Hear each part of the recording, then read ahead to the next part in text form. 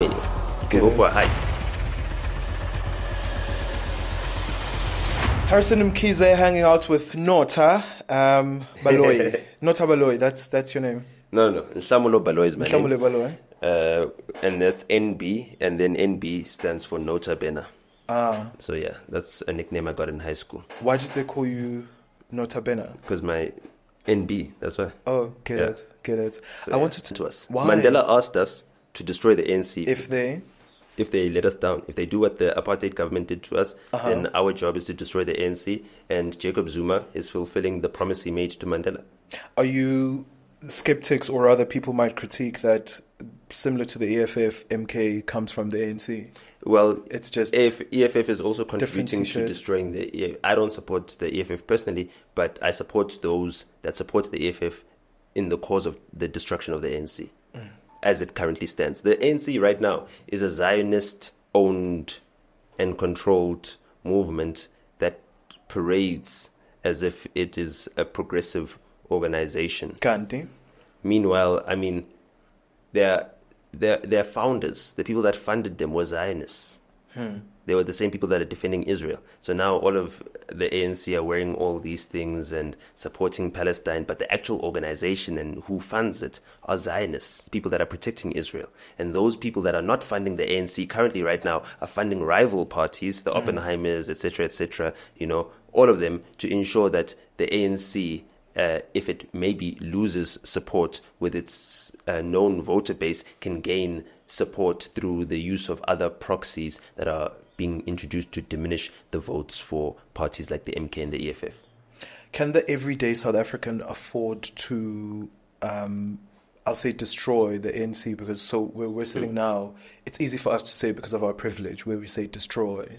Mm. Um, mm. But the everyday South African that struggles and you know doesn't have the privilege, the political instability that Yeah, could come as a result that's of, the can they best. afford to? That's the best thing because you know what? You remove that savior and then you eliminate the savior complex. As long as the ANC is still there as a savior, you know what I mean? It can be used to destroy. What should a young person do if they want to educate themselves on on on on, on who to vote for? We're not just going to listen to you say Yeah, MK I don't think we. I don't think young people should be thinking about who to vote for. I think young people should be convincing people to vote for them. I think young people should know that the people that have been in leadership have failed so mm. dismally that you shouldn't be trusting any of them with your votes because we've seen that they cannot be trusted. You know what I mean? I think you should trust yourself, and I think you should be running. You could run as an independent now, you know, and you should make the difference that you want to make, and then leave the accountability on failure to yourself. You know what I mean? If you fail your own community, it should be you that failed your community because you failed to stand up for your community. I stand up for my community. Mm. I fight when the traffic cops are not doing their job. I fight when the potholes are not there. I fight when our black brothers are being abused by violent cops and being slapped up for small little inferences or whatever it is. You know what I mean? I fight that. I fight the police brutality. I fight the brutalization of students and everything else. You know what I mean? And it's not like anyone is paying me for this. It. You know what I mean? I risk my life for this. I risk my safety for this. I risk my freedom for this. But I fight. And I hope that by me fighting, I can encourage other people to see that, yo, you can fight. I don't spend 18 hours in the gym all day just to look like I've got muscles. got mu- or look like I can fight. I muscle. fight. you know what I mean? I fight. And I've never lost a fight. Mm. You know what I mean? So that comes from the practicing of fighting. Random thoughts about fighting. Mm. Um, somebody said that they struggle to fight um, for, for for for some of us because we're not fighting for ourselves. Mm. Is do you share those sentiments? I struggle to fight for myself, so therefore I empathize with those who struggle to fight for themselves. Oh. There's so many times I struggle to fight for myself. Uh-huh. So many times where someone just takes my parking and I'm like, ish, let me just leave. Excuse me, you were willing to take bullets, Yeah, I mean, but you're know, not willing you to fight for a parking saying? space. Uh, You, see, do you understand what I'm saying? So there's instances where, as human beings, we fail to fight for ourselves, Mm. Got we fail it. to show up for ourselves. So we need to be empathetic To those who fail to show up for themselves because there's many things that affect their esteem and their self-confidence that stop them from fighting for themselves you know what i mean maybe they don't feel like they're worth fighting for and they don't feel like they're worth fighting for even for themselves and we should be empathetic and for us to be so aloof and to just assume that you know it's every man for himself is not going to help anyway you know what i mean that attitude doesn't help anyway so I'd rather err on the side of um, just being generous with my ability to fight for others. You know what I mean? Whether or not it's you know reciprocated or appreciated. As long as I know that I've done the best that I can, that makes me more satisfied with At- looking at the reflection in the mirror and not seeing someone that you know um, I wouldn't uh, want children growing up to emulate. You fought for a couple of people, speaking about fighting for people, and you've put a lot of people on, especially in the music space and, you know, Mm. the music, with the work that you've done in the music space. I mean, Mm. you're the one who invented Mhm. dancing and DJ. DJing. Yeah, well, yeah, well, I, I made it popular. I made it pop. uh huh. You know what I mean? Because obviously, um, I was DJing and basically orchestrating a hip hop and a rap show, and you know, all of us needed to make the show accentuate. Like the the guitarist started also doing dance routines. The drummer would have his own routine. So everyone had their own little thing that they do. And me behind the decks, I'd just be hyping up the crowd, jumping up and down, dancing, doing you know, I don't know, whatever pirouettes and twirls and stuff like that. You know, and curtsy And curtsies. As somebody who's between South Africa and America, with your strong A South African American. a South African American. Yeah. What, what what what what do the politics look like? So we're seeing a lot of South Africans move in To the America. entertainment space. They go to America. No, they don't go to America. They go to they- Europe. A lot of them go to Europe. You see a lot of South Africans being exploited by Europeans by Europeans. because we've got the best music in the world. Uh huh. So in Amsterdam, they're inviting them. Yes. In in Germany, they're inviting them. True In story. all these places, they're inviting them. And I asked these artists, who are obviously geniuses because they can create this artistic work, Uh huh. um, but to extend some of that genius to just analyzing, you know, certain things. Why is it that we don't know any artist from Amsterdam? Who's the biggest artist from Amsterdam? Who's the biggest artist from France? Who's the biggest artist from Germany? Who's the biggest artist? So when uh, you expect to go to Germany and become a global star when they can't When even they produce can't. their own global stars. No, you're just being exploited because you got something new that's fresh, that's better than anything that they've got, and they can pay you less than they pay the people that they view as stars who are white in Mm. the same country. So you're being exploited, and also you're also You're- being exploited in Europe, which has got a very small black population compared to America. America's got f- almost as many blacks as South Africa. You know, there are Mm. 42 million black people in America. You know, 47 in South Africa. Therefore, you know, we're very similar. Um, English is a very big language in South Africa. English is English a very big, in language. In America as well. No, in Black America. Okay. Yeah, in America, there's also other languages. There's Hispanic and everything else. There's also Italians and everything else. It's Ah. mixed. But English is the predominant language. But there are places in America where you'd find someone who works at a shop that does not speak, Speak any English. English. You know, I mean, I was experiencing that a lot in in Florida, like in Miami.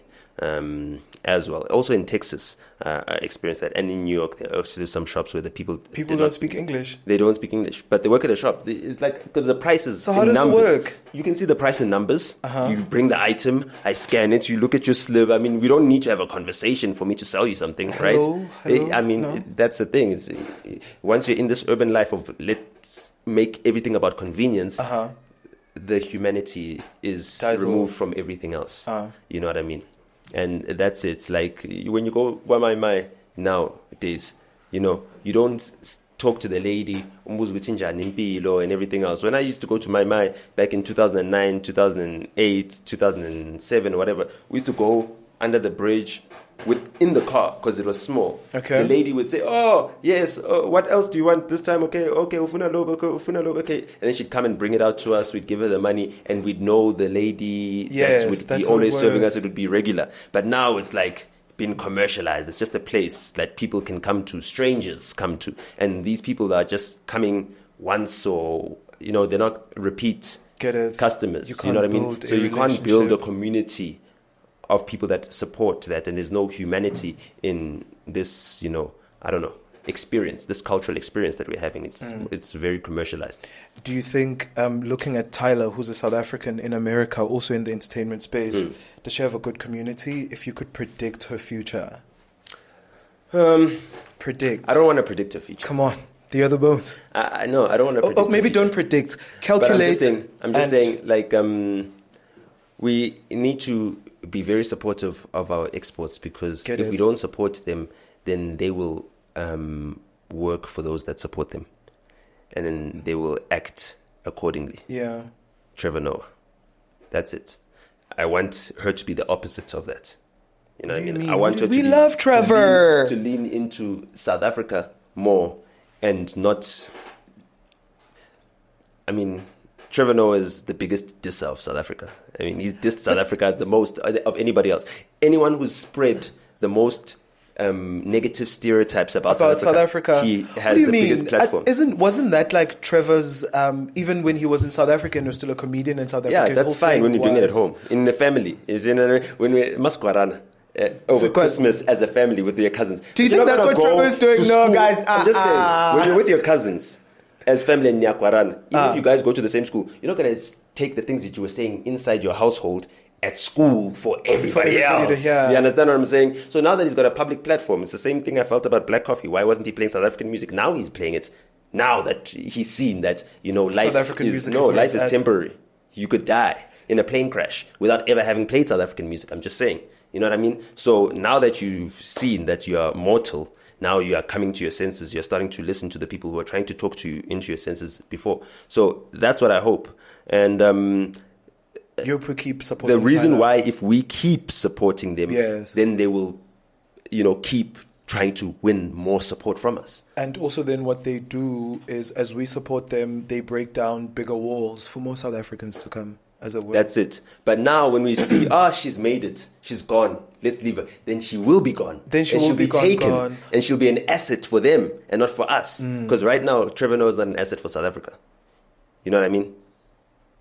I, He's, a, he's an asset for America against China. He's spreading anti Oh. uh, chi- chi- China um, sentiments right now. He's working for the CIA, CIA Mm. directly. You know, he's the presenter of the White House Press Association Gala Dinner. You know what I mean? Ah. Which is broadcast on C-SPAN, the CIA media network. You know what I mean? The White House Press Authority is run under the CIA anyway.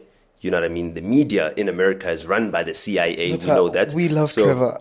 yeah, yeah, you're brainwashed. So you and everyone that do Not does that. loving somebody being brainwashed. I mean, it, No, it's see, like how I- can I you think, love your own enemy? The CIA killed Lumumba. Hmm. Do you understand what I'm saying? You need to understand that they killed Lumumba. We're talking about what's happening in Congo right now, and the atrocities. You know what I mean? The CIA have committed all these atrocities But the CIA always- are the reason for the Palestinians, you know, suffering the way they do because the CIA propped up Mossad. The CIA are the reasons for the coups that are happening all over Africa, the world, the, the South America. The, all the poverty, the, the illegal immigrants, the caravan is all caused by the CIA. They took out presidents, they killed them. They, the CIA took out Zuma. Then understand what I'm saying? Put in their own agent, Cyril. You know, so I'm just saying. So shoot Trevor. He, he works for the CIA. He works for the devil himself. So I, there's no way I can like him. I can empathize with him.